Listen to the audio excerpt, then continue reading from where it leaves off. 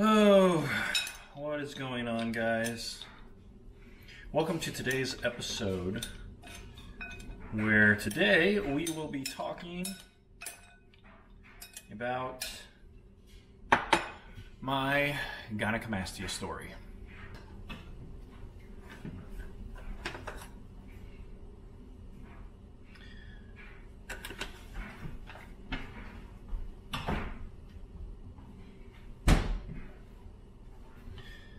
So first off, before we get started, I just want to say we've got a little promotion going on for Redcon 1. Anybody that purchases $40 or more after the discount code, $40 or more after using my 20% off code, gets a free month of nutrition programming from me. So make your purchase Email me your order number and let me know that you are there for the nutrition programming.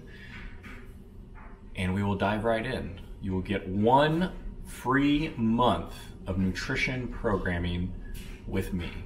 All right, so I will be asking you some questions as far as what have you been eating, what do you weigh, how tall are you, what kind of food do you like, and then we'll go from there. I'll be making, I'll put a meal plan together based on that and based on your goals, and we'll go from there. So, anyways, back to the uh, topic of this video.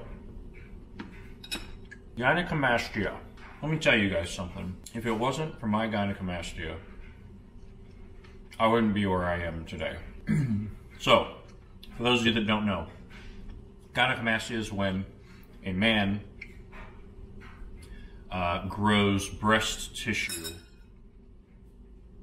underneath the areola nipple area. How does this happen?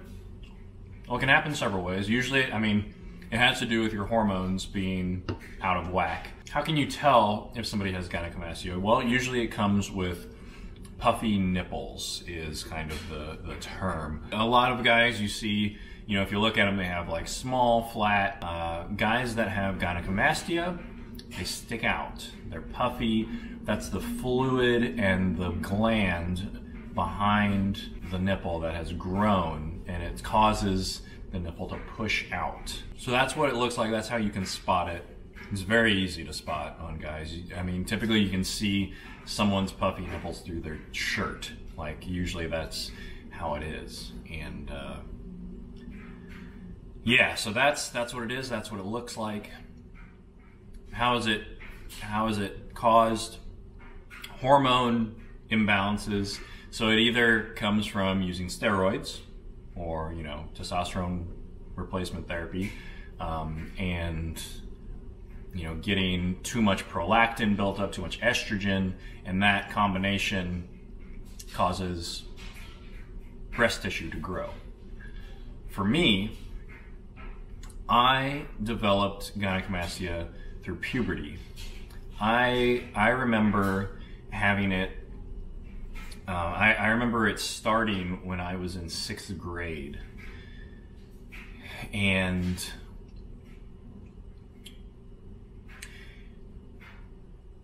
and in the sixth grade, that essentially was the start of my journey to where I am now. I mean, because when I was in the sixth grade, I vividly remember one episode that I got made fun of for. Um, and it changed it changed my life like i got made fun of for the way my chest looked and I, from that point on, I remember doing whatever I could. I, I did so many freaking push-ups. I was I became extremely concerned with how I looked when there's not one point before that that I thought anything about anything about my body. But I, I vividly remember that day I mean, we were standing in line at the cafeteria, and and this kid his name was Damien, of all things, um, was making fun of me, was making fun of my chest, making fun of how you could see my nipples through my shirt because they were puffy. And it was just devastating. And uh, so what what happened from there? Um, I became very self conscious about how I looked. And it's so crazy, like to think that at sixth grade, you know, kids can think that, can be that aware of their body and how they look. And I mean, through talking to a lot of my clients, I've learned that a lot of them developed the issues that they have with food or whatever even younger than sixth grade. And it's just, it's insane, like, how influenced we can be at such a young age.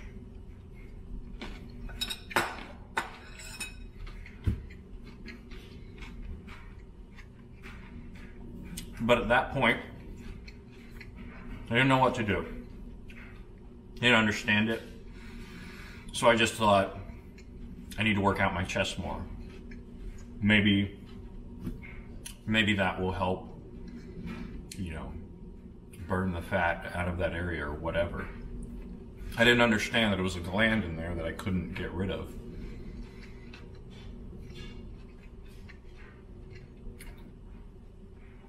So, I, uh, like I said, I did a shitload of push-ups, push-ups all the time, every morning, hundreds of push-ups. Just, and of course they weren't good. I mean, I was a kid, I didn't know what the hell I was doing, but I was just doing push-ups. Nothing worked. Nothing worked at all. I mean, got got to high school. Well, so before I get ahead of myself, sixth grade, that was the first year that I ever wore a t-shirt into the swimming pool because I was so scared that people would see any anything and have something to make fun of. But that was the first year I remember wearing a t-shirt to the swimming pool. Anyways, moving on. Got to um, eighth grade. eighth grade, I had learned how to hide it a little better by wearing multiple t-shirts or one thing in particular that I would wear because it was just so embarrassing. Like you just didn't want, that was the that would be the one thing that I would always check. I would, like I would wear shirts that had like print, like a big label across my chest, so that the label would cover it. Um, I would wear multiple shirts to help hide it. I would even go as far as when I wrestled um, from fourth grade on into high school. So um, there's a there's a there's a group called USA Wrestling and that's what I was a, a, part of. And you had your own singlets at that point. So I was like so desperate to hide my chest, hide my puffy nipples that I would wear my singlet under my clothes because it would smash everything down. I would wear my singlet, and I did that all the way through high school. From eighth grade on, I would wear my singlet under my clothes. Nobody nobody ever saw me without my shirt on. Like, unless, unless it was in the locker room. And in, in locker room situations, man, I would either try to get there as soon as I could and change as fast as I could, or I'd be the last one. I'd be the last one ready. Or if, if, you know, it got, I think it got to a point when I was in high school, by the time I was a senior, I was in good shape but I still had it. And one thing, another thing, anybody that has gynecomastia knows this this move where hands under the shirts, pinching the nipples to make them hard, and then taking your shirt off. Because a hard nipple is not puffy and it looks a lot more normal. But as soon as they relax, it's bad news. Um, yeah, I feel like I'm, I'm going all over the place here, but I just have so many memories of trying to hide myself.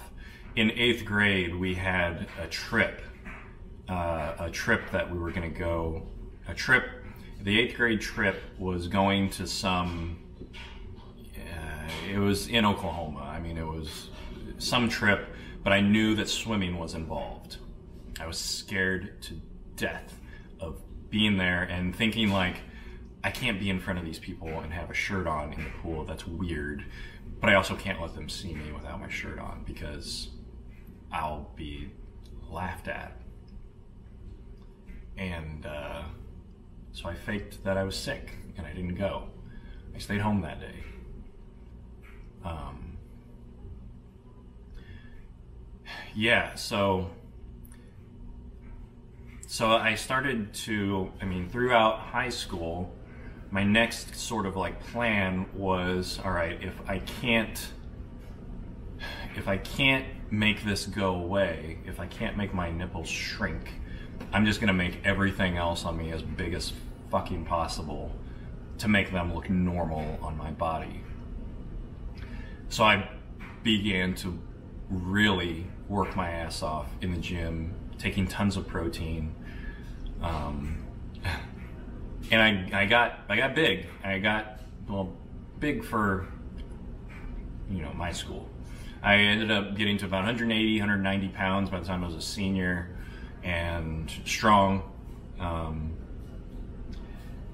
strong, and I, I mean I wasn't fat, and but it was still there. Like it never it never went away, and uh, yeah, it was it was awful. I, I we had friends that had you know a pool. I'd hardly ever go. If I did go, I would get in the pool first and get out last. I would I would always try to just keep covered because I didn't I didn't want to give anybody anything to laugh at or make fun of me for. Um, yeah, but the whole fucking pinching, twisting your own nipples to make them hard so that they wouldn't be soft, so that they would look normal. Anybody that has gynecomastia does this. And, you know, the, the fucking twisting, twisting of the fucking nipples all the time, all the freaking time. Every time you're going to take your shirt off. That's one thing you had to always make sure of.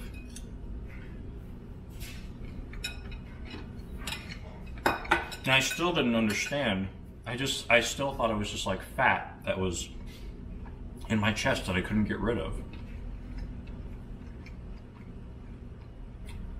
Through college, I got a little more relaxed about it. I mean, there were no pool situations in college, but um, but always, you know, around girls, I would never just walk around my room shirtless. I was just, I was never comfortable with that. Whether or not they could even tell. I mean, as far as I know, like, most people don't even, at that point, when I was in college, nobody noticed it. Nobody knew anything. Nobody said anything. But I thought that they would. It's just, it's such a mind fuck, especially when you've dealt with it for so long. All right, so fast forward to a year and a half ago. So I, eventually I learned that what it was, that I had gynecomastia and that I had glands in there and there was no getting rid of that unless I underwent surgery.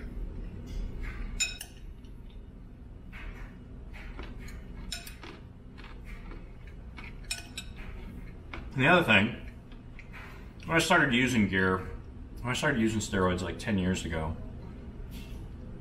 I mean, I really, at that point, I knew what was going on. I was just like, you know, fuck it. I'm gonna get it cut out someday anyway. It didn't get any worse um, than how it had always been, surprisingly. Um, but it was part of my plan to make everything else bigger to make them look normal on me. And it worked. It worked very well. I, the bigger I got, the more confidence I gained. With my shirt off, the more normal I felt that my body looked. And I became very confident um, to where I am now. You know, I, I'm shirtless most of the time when I'm at home. But okay, so fast forward to a year and a half ago, I started looking into surgery. I had enough money saved up In the US, you cannot get insurance to pay for it. My plastic surgeon explained that to me. He said he said they used to be able to. They used to be able to go through some loopholes and say that they were going to take it out for you know like a what do you call it? Um, to check it for cancer.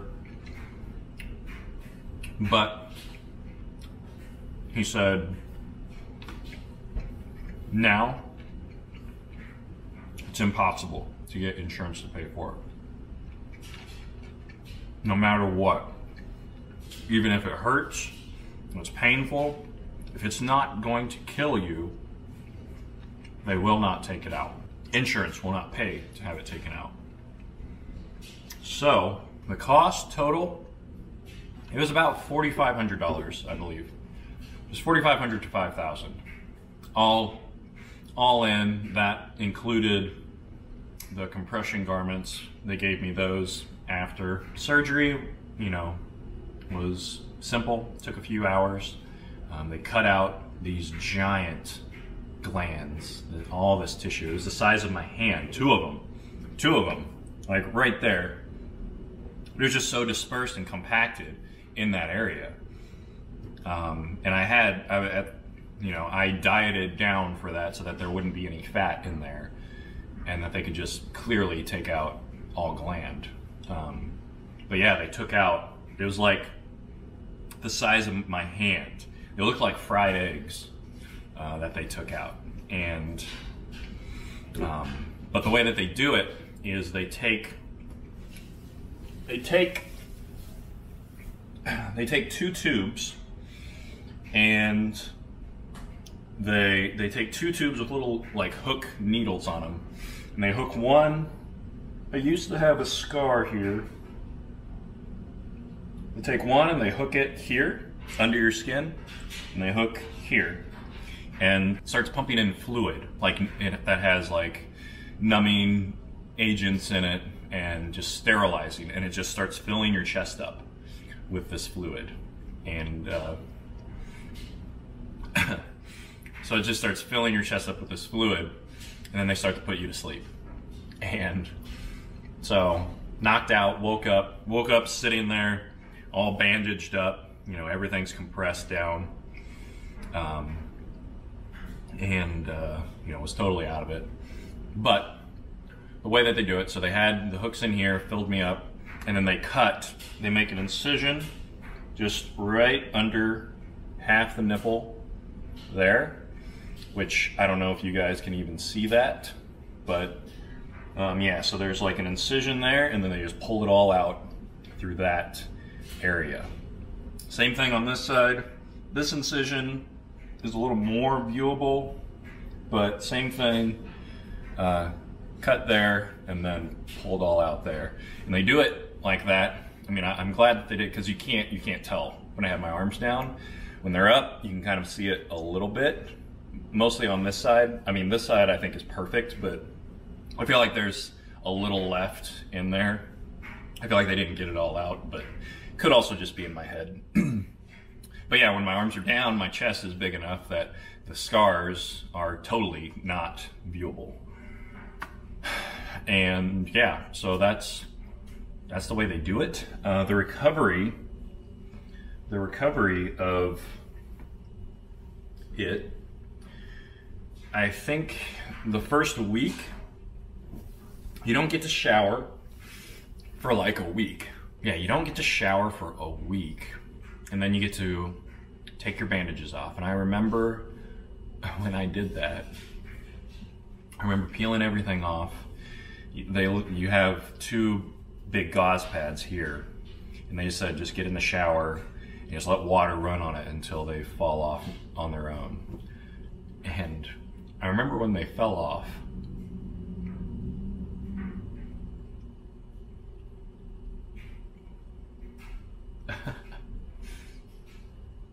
I remember when they fell off and just looking down I can't believe I'm getting this emotional about it. I mean, it's such a, it was such a huge moment to look down and it, it's just, it's flat. And, you know, I couldn't, I couldn't see my nipples. They were, they were down. They weren't puffed out and, and you know, po poking out anywhere. And I just remember looking down and just being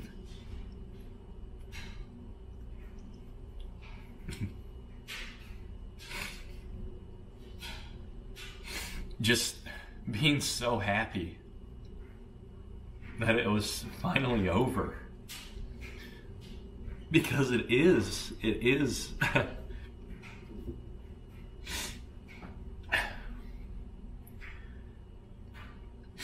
to have lived with that for so long. Like people that don't have it, they don't they don't understand. Like it's constantly in the back of your mind. For me, it was.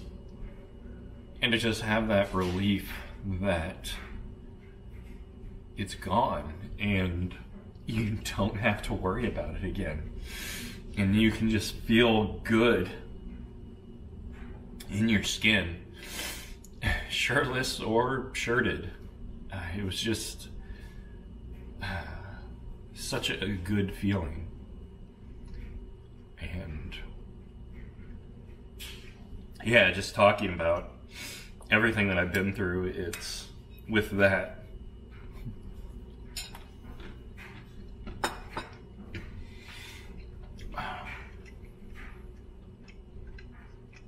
It was such a good day.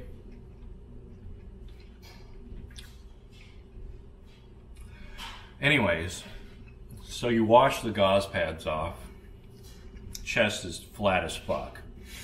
And uh,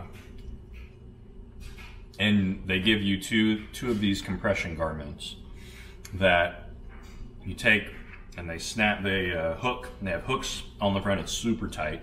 Compresses the shit out of you. You hook it all together. You zip it up in the front, and it just holds everything super tight, um, like nipples to the muscle, and everything is nice and flat and uh, yeah. So I think you wear that for. I want to say, I want to say I wore that for about six, six to eight weeks or so. Um, but throughout that whole time, I think by week two, I was running. I was running on the treadmill, jogging. They said do do what you want as long as everything feels fine, as long as you don't feel any pain. And I felt fine, like with the compression vest on, everything felt great. So um, I was running by week two, doing cardio, doing what I could to stay lean. And they told me just be active, use use your arms, move around. It just helps with blood flow, helps. It'll help it heal and help everything, you know, recover. Um, so yeah, I was doing cardio the whole time. By every two weeks, I think, I went in for a checkup to see how it's going. They would tell me a little bit more that I could do. I'm pretty sure by the end of eight weeks, 12 weeks, somewhere around there, I was able to lift with no issues at all. So, anyways, um, huh. anyways, guys, that is my gynecomastia story.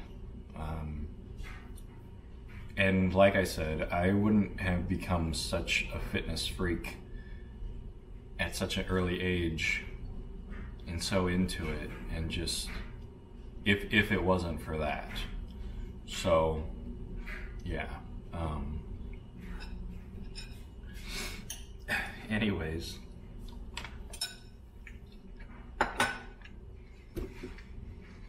Woo! Fuck. Anyways, guys,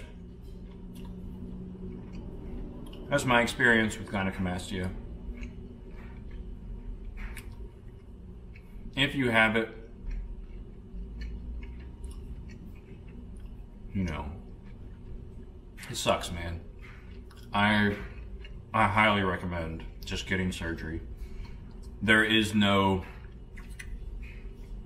there is no, you know, Arimidex, Letro, Nolvadex, none of it is going to get rid of it.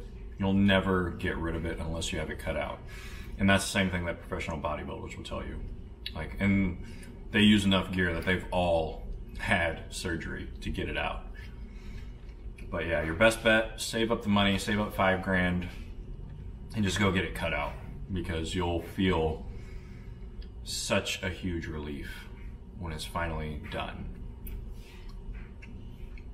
All right, guys. That is all that I wanted to share with you today. Thank you so much for coming back to the channel. If you're new to the channel, subscribe now, leave a thumbs up. Thank you so much for stopping by, and I will see you guys tomorrow.